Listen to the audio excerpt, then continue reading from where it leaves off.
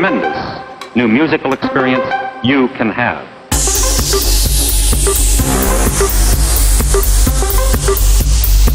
Thank you.